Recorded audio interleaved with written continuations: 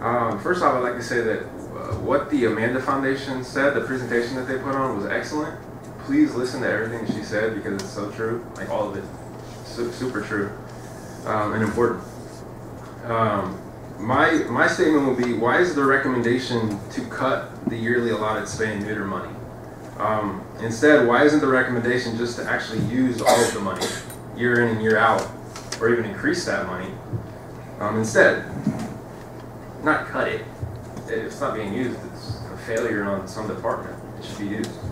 Um, there's really no excuse to not use the money. It's not an issue of people not taking you up on the services. It's a failure of community outreach and accessibility, basically. Um, also, the vouchers do not make up the full cost of the surgery for medium and especially large dogs.